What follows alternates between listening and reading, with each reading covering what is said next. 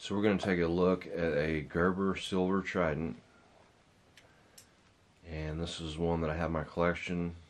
This is probably one of my top three or four different favorite ones that I have. This is up in the top four. Designed by William Harsey Jr. and Chief James Patches Watson of SEAL Team 2. This has been discontinued for a while now. You can find them here and there, of course and they're starting to get up there in price. So let's take a look at this.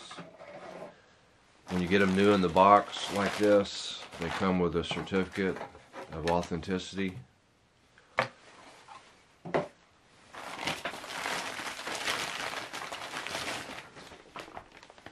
Really good looking knife. We're going to take it out here in a second look at it.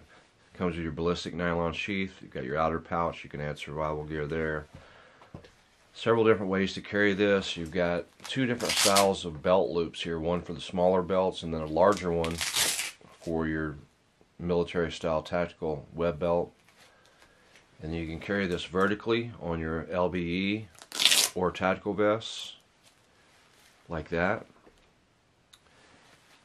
And what I love about this knife is whenever you it goes in that insert it locks and then you get your retention there. So you got actually two points of contact of retention holding that knife and you need that when you're doing military style operations.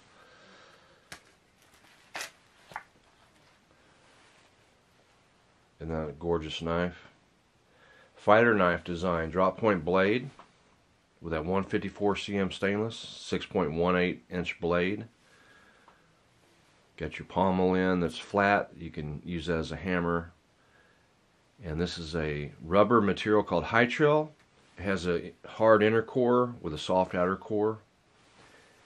And it really indexes outstanding in the hand feels really comfortable. You need that type of grip when you're in water type situations or if you got blood on your hands and you're in the mud and you're just kind of getting down and dirty and gritty that's what that handle is designed for. It's got your dual integral guard there and this drop point blade, this fighter blade is just really nice profile. Got a hollow grind there, comes down to an 18 degree secondary cutting edge, which is razor sharp of course. Your upper swedge is sharpened back to those chisel grind serrations.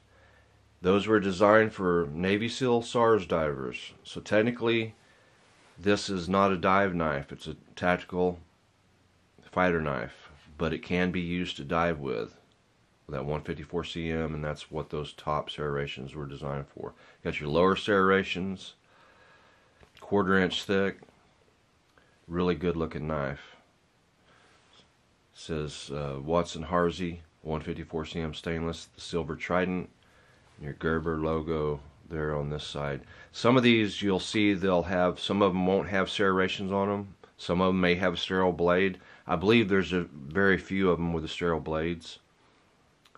And then you'll have some with different style serrations. Some may come with just the bottom serrations. Really good looking knife.